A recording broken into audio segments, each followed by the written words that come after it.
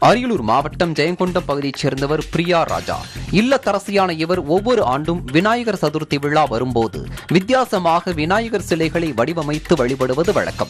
அதன்படி கடந்த இரண்டாயிரத்தி எட்டில் கொட்டைப்பாக்கு விநாயகரில் தொடங்கி நவதானிய விநாயகர் பென்சில் துகள் விநாயகர் மாத்திரை விநாயகர் சங்குப்பூ விநாயகர் மக்காச்சோளம் விநாயகர் என ஒவ்வொரு ஆண்டும் பல்வேறு விதமான விநாயகர் சிலைகளை வடிவமைத்துள்ளார்.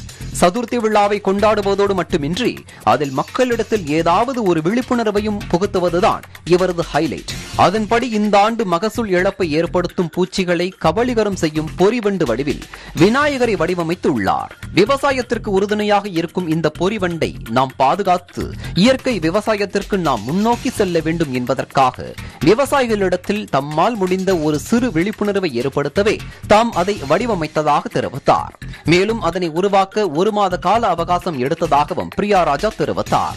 அதனை பார்வையிட்ட பொதுமக்கள் மற்றும் விவசாயிகள் அவரை பாராட்டி வருகின்றனர்.